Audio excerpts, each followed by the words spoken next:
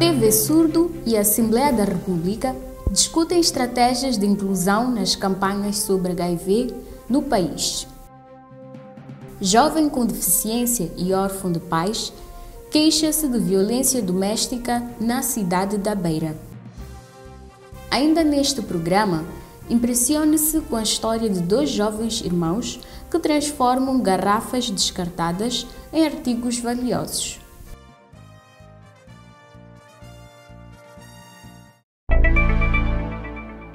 Acontecem diariamente perto de 300 novas infecções pelo vírus do HIV, afetando também pessoas com deficiência. Com vista a encontrar soluções para esta problemática nacional, a TV Surdo e a Assembleia da República decidiram juntar esforços. Vão trabalhar em conjunto para que sejam aprovadas políticas de combate ao HIV que sejam inclusivas. Estudo realizado na cidade e província de Maputo conclui que pessoas com deficiência são vulneráveis à pandemia do HIV. Por este motivo, a TV Surdo e o Departamento de HIV da Assembleia da República buscam formas de garantir que esta camada social tenha maior acesso aos serviços de HIV no país. Em relação à questão é, de atendimento, em relação ao, ao, ao, às pessoas com deficiência, no caso em concreto, é, das pessoas com problema de, de não poder ouvir, surdez, essa questão só podemos falar, falar com, com a ministra, para, no sentido de que se melhora o atendimento em relação a, a, a este grupo. Queremos que as pessoas com deficiência tenham maior acesso aos serviços da HIV, desde simples informações, tratamento até o combate a este mal. A preocupação por este assunto surge depois da apresentação ao Departamento de HIV da Assembleia da República do relatório situacional desta doença em Maputo. De acordo com este documento, o quadro do HIV em pessoas com deficiência é crítico. Essa apresentação para nós foi é, muito importante, porque nós, como Assembleia, na área que, que trabalhamos na área da HIV-Sida, é, como gabinete parlamentar, ficamos sensibilizados é, pelo trabalho que já foi feito por TV Surdo e trouxeram-nos aqui é, questões que merecem é, muita reflexão por nossa parte. Uma das questões que colocaram foi a necessidade que, de procurar saber as estatísticas sobre pessoas vivendo com HIV-Sida, se é possível é, termos é, estatísticas das pessoas é, com, com deficiência, bem clara a situação das pessoas. A solução para contrariar este cenário passa por garantir campanhas inclusivas sobre o HIV. Nas campanhas de sensibilização, incluir é, outras formas de, de comunicação que permitem não só para as pessoas que sabem ler e escrever o alfabeto é, que nós temos usado, mas o braille e outras formas de comunicação para que as mensagens sejam cada vez é, mais abrangentes. De acordo com o Ministério da Saúde, Moçambique registra 365 novos casos de infecção por dia. As pessoas com deficiência constituem um grupo vulnerável à pandemia do HIV, sendo por isso urgente criar normas que obriguem campanhas inclusivas sobre este assunto. Da cidade da Beira, chega-nos a notícia de um jovem com deficiência que acusa a sua madrasta de praticar atos de violência doméstica. Ele disse vítima de torturas e ameaça de morte. Mais de 25 mil casos de violência doméstica foram registrados em Moçambique no ano passado. Domingos Felipe é parte destes números. Com 25 anos de idade, órfão de pais e com deficiência físico-motora, Domingos é violentado pela própria madrasta. Quando recebo dinheiro, ela, ela leva leva todo o dinheiro e depois eu fico sem, sem, sem nenhuma coisa. Quando pego às vezes, se não, se não correr, querer, correr até me bater. As torturas não se ficam pelo corpo. Domingos é também ameaçado de morte, tal como ele próprio conta. Eu vivo com a minha madrasta. Há quanto, tempo a madrasta tem te ameaçado de bater? Quase todos os dias. Domingos revela que já pediu ajuda, mas o seu pedido redundou num fracasso. Disseram que é melhor que se é melhor que se procurar um meio alternativo. E às vezes quando eu pido ajuda a eles, quando ligo para eles, não me atendem. E foi em busca de apoio que Domingos procurou amparo na ADEMO, Associação das Pessoas com Deficiência de Moçambique. a nos falar muita coisa sobre o que está acontecendo, né? problemas da casa dele. Mas há coisas que às vezes diretamente não podemos eh, intervir, mas podemos dar apoio né? eh, psicossocial né? que, entre ele e a mãe para poderem apaziguar daquelas situações, que a mãe não volte a fazer aquilo. Porque muitas vezes tem tido que, eh, violência doméstica, né? Que, então isso não é admissível. Caso se confirme a violência, o praticante pode ser condenado à prisão, devendo a pena depender do tipo de crime, tal como explica o advogado Joaquim Vilanculos. Neste caso em particular, há, há um caráter social mais, eh, que pesa muito eh, para podermos eh, definir o tipo, eh, o tipo legal de crime, bem como a pena que será que será aplicada. Hum, a violência doméstica tem várias modalidades. Existe a violência física, a violência psicológica, a violência hum, moral e a violência eh, patrimonial. Portanto, dependendo da modalidade eh, da, da violência doméstica, os crimes ou as penas aplicáveis vão, vão portanto, hum, variar. Vilanculos acrescenta que a pena pode ser agravada pelo facto de a violência ter sido praticada contra uma pessoa com deficiência. Eh, a violência doméstica cometida contra uma pessoa, eh, digamos, possa ter assim dizer normal ou que não tem nenhuma proteção especial por parte da lei, tem um certo tratamento diferente do tratamento que é dado ao crime de violência doméstica praticado contra uma pessoa que mereça ehm, cuidados especiais ou que necessite de cuidados especiais. Estamos a falar de, do idoso, estamos a falar do menor, estamos a falar da pessoa portadora de deficiência. Em caso de violência doméstica, as vítimas devem recorrer ao Gabinete de Atendimento à Mulher e Criança vítimas de violência doméstica ou à esquadra mais próxima. Em caso de violência, a vítima deve dirigir-se à esquadra mais próxima. Vamos a uma breve pausa. Voltamos já. Pegue no seu telemóvel e vá ao Google Play. Procure TV Surdo. Clique no ícone com o emblema da TV Surdo e de seguida instale. E já está. É fácil de usá-lo. Possui uma interface bastante interativa. De que está à espera? Baixe agora. TV Surdo. Mídia inclusiva. Olá, bem-vindo de volta ao programa de televisão mais inclusivo do país. No primeiro bloco, você viu a vontade manifestada pela Assembleia da República em trabalhar com a TV Surdo para diminuir os índices de prevalência do HIV entre os moçambicanos. Noticiamos também um caso de violência doméstica praticada por uma madrasta na cidade da Beira. Neste bloco, acompanhe a história de dois jovens irmãos que transformam garrafas descartadas em objetos de valor.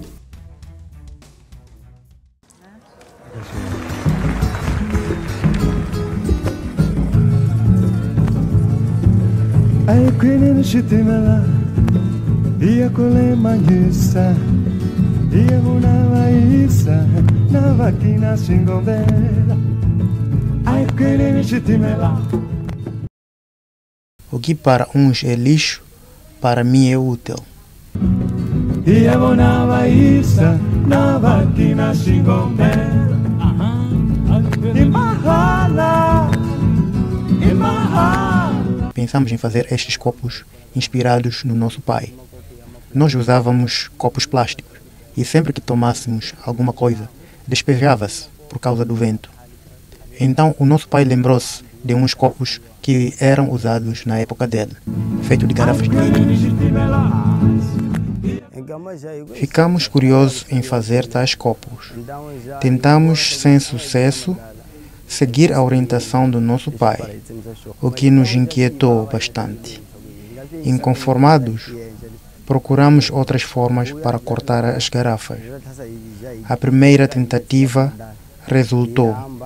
Incrédulos. Tentamos de novo. Deu certo. Então concluímos que aquela era a melhor forma de cortar garrafas.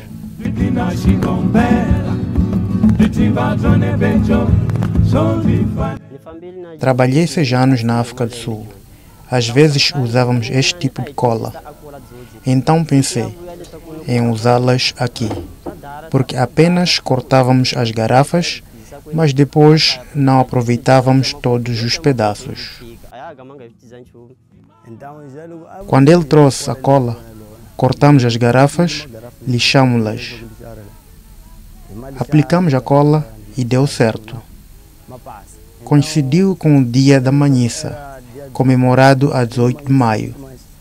Tomamos um chapa de maragra para a vila, com os seis copos. Chegados à vila, as pessoas que nos viram descer com os copos gostaram deles e questionaram como uma garrafa foi transformado num copo. Foi então que decidimos fazer um teste, produzindo estes copos e vendendo-os na cidade de Maputo. Imahala.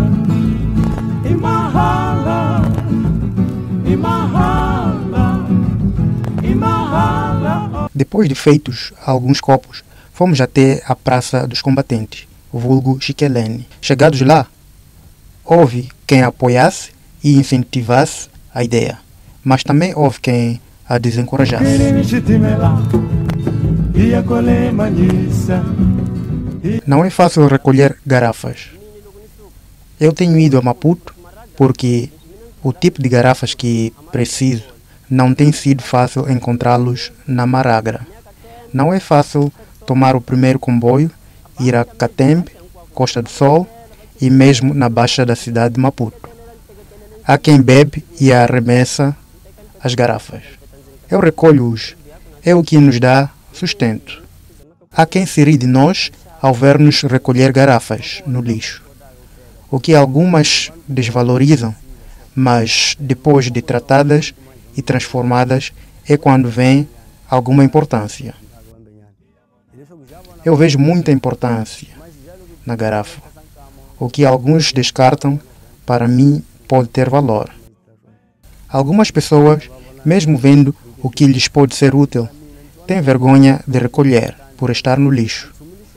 Porque quando nos veem no lixo, conotam-nos como catadores de lixo. Mas pouco me importo, porque tenho algum benefício. Para mim, seja uma cova, no lixo, não me envergonho.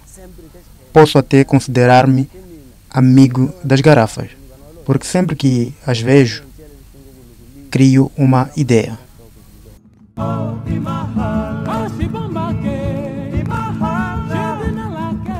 Tem que idzitsema garrafa leti para idzienca copo eh ima hi hina loko hi dya ku enca a kopo ya medida ya hini hi tsema hi la. Para kopo ya hini na nga li clienti munhu leswi a julaka swona para mina leswi ni julaka swona mina. Ni tsema hi la. Então já depende para ka munhu leswi a swi julisaka hi swona na tsema hi la na tsema hi la na tsema hi kola então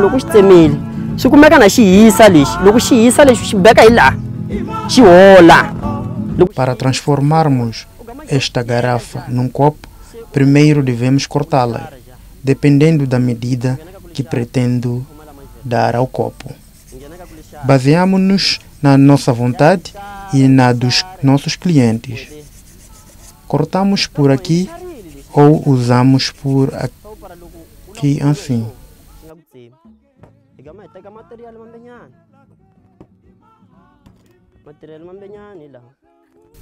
Depois de cortadas, a garrafa fica quente e temos de deixá-la arrefecer.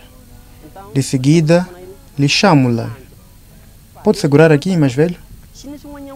Lixamos para que não corte a pessoa que usa.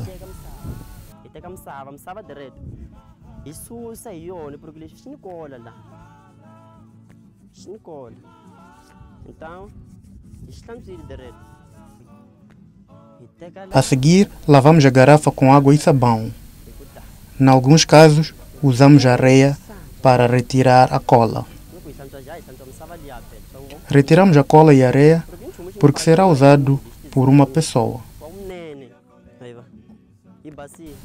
Assim já está bem. ntumbuluko Este é um copo considerado tradicional.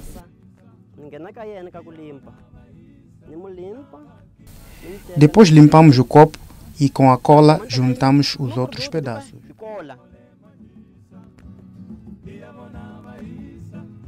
E assim o copo já está pronto. Dentro de 5 minutos pode ser usado. kola leswi gama bya xibhiwani tsoles andavansi já i copo só dentro de 5 minutos já i speed yi helelile i copo pode já uitizisa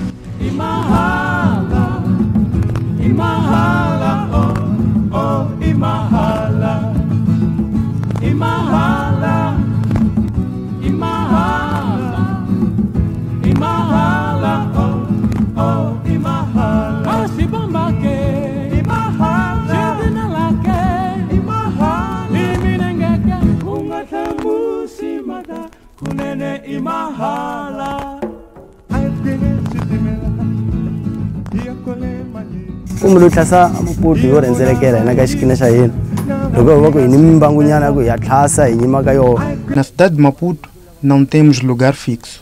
Andamos pelas avenidas, vendemos na rua. Há pessoas que chegam cedo à cidade, vêm-nos a vender, gostam e compram.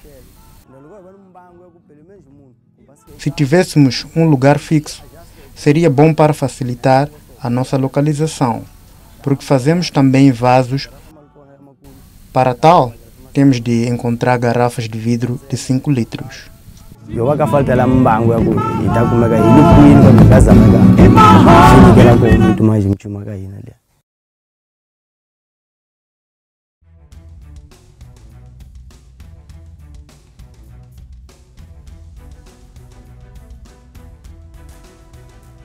É com arte que fizemos o segundo bloco da TV Surdo. Vamos a mais uma pausa e voltamos num piscar de olhos. Pegue no seu telemóvel e vá ao Google Play. Procure TV Surdo. Clique no ícone com o emblema da TV Surdo e de seguida instale. E já está. É fácil de usá-lo. Possui uma interface bastante interativa. De que está à espera? Baixe agora. TV Surdo. Mídia inclusiva.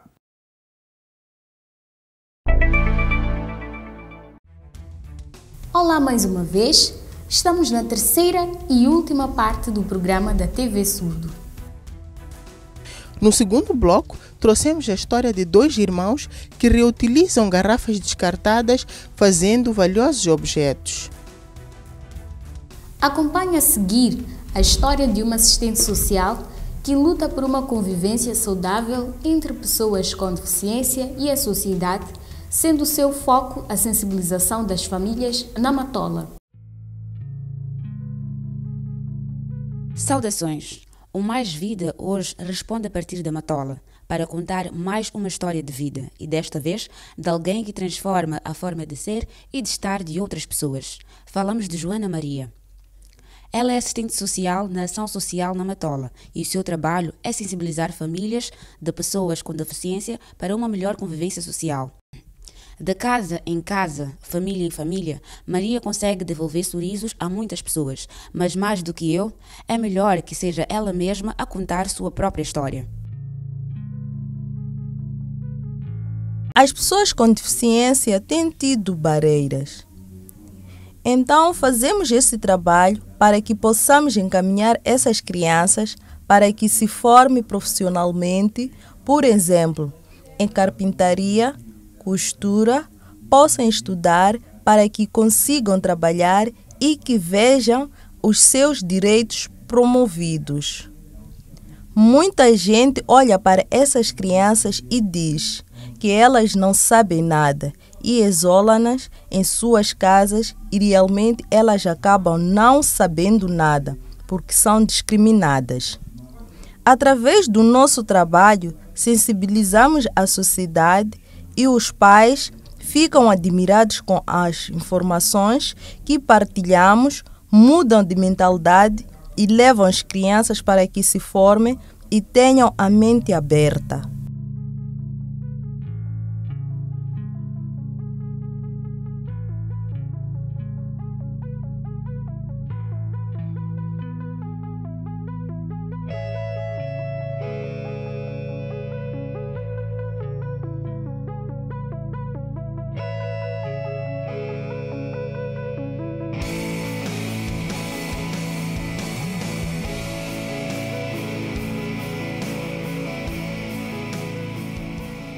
Identificamos as crianças surdas e outras com outras deficiências, como a mental.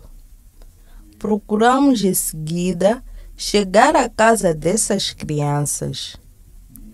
Esta foi uma ideia que tive por ter verificado que as crianças com deficiência são muito discriminadas nas famílias e na sociedade. As crianças surdas e opacúsicas ensinamos a língua de sinais para facilitar a comunicação. De igual modo, ensinamos a língua de sinais aos pais, tudo para garantir uma boa comunicação.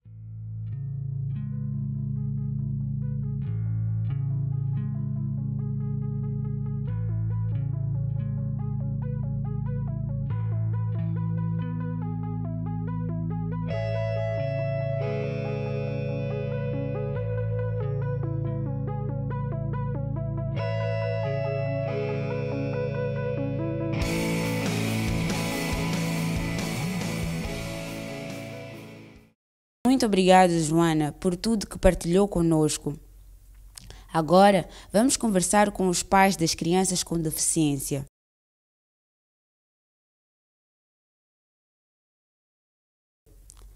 Como avalia o trabalho feito por Joana? Gostamos porque vai ajudar os nossos filhos a desenvolver sobre a, sua, a, a não ouvir e não falar. Apoiar, a pedimos a outras mães para aparecer, mas é muito difícil. Outras mães não conseguem chegar até cá de São Basílio. Há crianças que estão nas casas que os encarregados não aceitam levar as crianças para aqui. É a grande dificuldade, mas é, nós tentamos também falar com os encarregados de modo que tenham a vontade e aparecerem até aqui para ver se podem ter esse aproveitamento. Nós temos aqui é, um grupo de professores que estão aqui na nossa zona a darem as aulas. Vimos a necessidade de expandir essa aula para esse grupo, para que não sejam discriminados. Assim, ainda estamos a fazer um trabalho de base para envolver mais outras crianças com deficiência auditiva. Vamos ver o que é que vai dar e chegar. Apesar de não termos recurso, mas gostamos de fazer um trabalho muito importante na comunidade. Temos exemplo, eh, pelo menos de um menino aqui, que o pai até diz que nem pelo menos para escrever a letra A, número 1, não sabia. Mas dentro de duas semanas, esse menino já sabe escrever pelo menos o nome dele. Nós ficamos por aqui. Um beijo bem grande para todos vocês. Até a próxima. Parabéns, Joana. Que as famílias e a sociedade acatem o seu apelo.